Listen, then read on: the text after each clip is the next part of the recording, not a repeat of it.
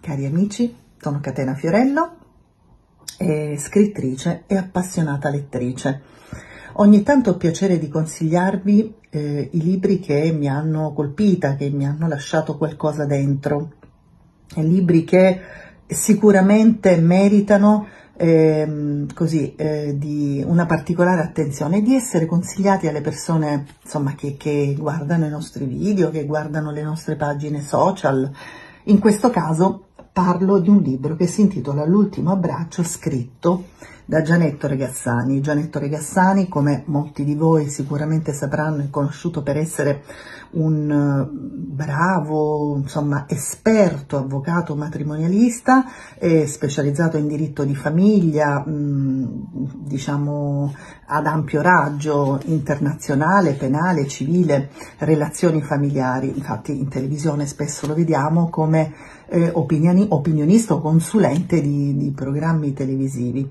E invece in questo caso Gianetto Regassani, l'avvocato Gianetto Regassani ci fa un bellissimo regalo perché scrive un romanzo eh, un romanzo vero e proprio, la storia di, di un uomo, Dimitri, il, suo, il protagonista, un 58enne, che mh, in qualche maniera, come spesso accade a noi, e fa i conti con un passato che è rimasto in sospeso. c'è una donna che riceve una lettera, Maria, sua sorella,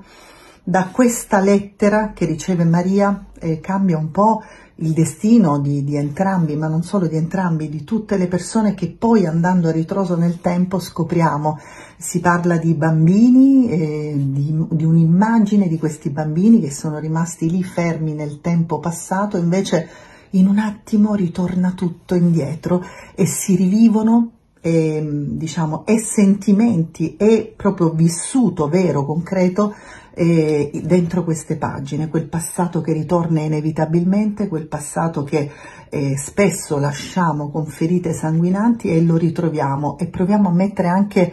dei cerotti a queste ferite, proviamo a mettere anche eh, la parola perdono sopra e, e, soprattutto la speranza di guardare avanti con una nuova consapevolezza. Quindi anche qui eh, l'avvocato Gianetto Regassani in qualche maniera ci parla sempre di famiglie, ci parla sempre di legami mai spezzati che però possono portare anche dolori, eh, dispiaceri.